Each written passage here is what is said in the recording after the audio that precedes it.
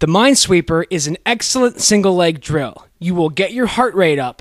You will focus on agility, balance, and explosive strength through your calf and in through your leg. Start with 10 cones and randomly throw them around the room.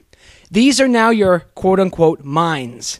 Now, on a single leg, you, are, you will hop around the room to go and fetch each of those mines.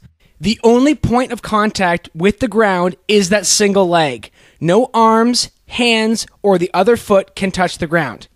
As you jump over to retrieve the mines, perform a half single legged squat and reach down and grab those mines. Bring them back to your base.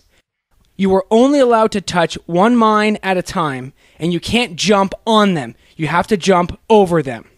Once you get towards your last mines, your leg and your butt are going to be on fire. This is where the muscular endurance will really be tested. Balance will also be tested while in an extremely fatigued state. Fight through the burning and finish off the set. Then throw 10 cones randomly around the room again and perform another set on your other leg. Here, you can do a pyramid where you start with 10 on your right, then you do 10 on your left, then you do 9 on your right, and then 9 on your left, and so on and so forth. See how many sets you can get in a row without stopping.